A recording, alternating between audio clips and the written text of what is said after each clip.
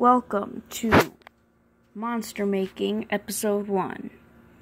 Uh, this is the Sasquatch monster thing.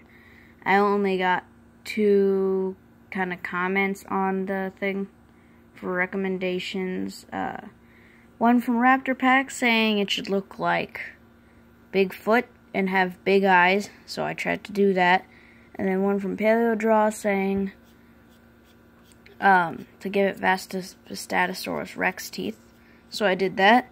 Um, wasn't getting as many comments on adjectives as I was hoping for. Um, just two.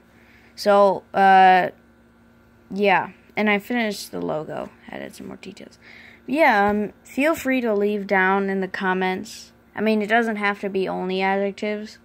But, um, yeah, the, the point of the series is for you guys to tell me pretty much what I want to draw.